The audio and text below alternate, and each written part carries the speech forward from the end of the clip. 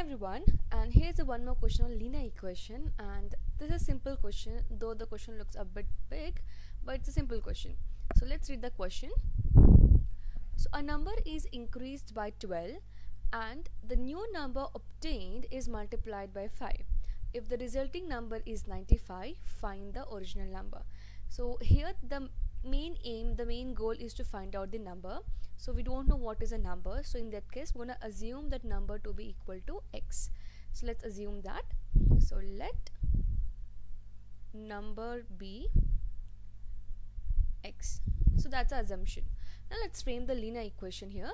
So they're saying first that number is increased by 12 increased means you're inc adding 12 to this. In that case it becomes x plus 12 now this forms a new number. So x is we don't know whatever the number is we're adding 12 so we get a new number in that case. And what they have done the new number is obtained whatever new number we're obtaining they have multiplied by 5 so x plus 12 is now a new number. So x was original number and to this we have added 12 and this form a new number. To this when they're multiplying with 5 the resulting number is 95 so let's multiply this with 5. So I'm keeping this in the bracket multiplied by 5. The resulting means the answer is equal to 95. So this forms a linear equation. Now it's very simple. You have to just open the brackets and solve it.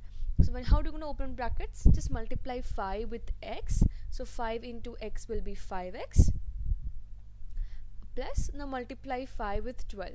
So 12 into 5 will be 60 is equal to 95 now this forms again a linear equation. Now bring all the constants together and the variables together. So 5x is only variable. So I'm going to take the 60 to the other side. So 60 is in positive. When we transpose it becomes negative. So we get 5x is equal to 95 minus 60 so 5x is equal to 95 minus 60 is 35 now since 5 is in multiplication. When transpose to other side becomes it comes in division. So x will be equal to 35 upon 5 now just simply cancel them. 5 ones are and then 5 sevens are. So we got x is equal to 7 so therefore from here we can conclude that the original number is equal to 7 therefore the original number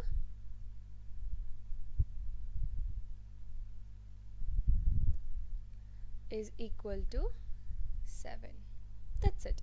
I hope you have understood. It's a simple question. The question looks a bit big but when you read it it's become it's very simple question. So if you have a question or doubt you can leave a comment below. And thank you so much for watching this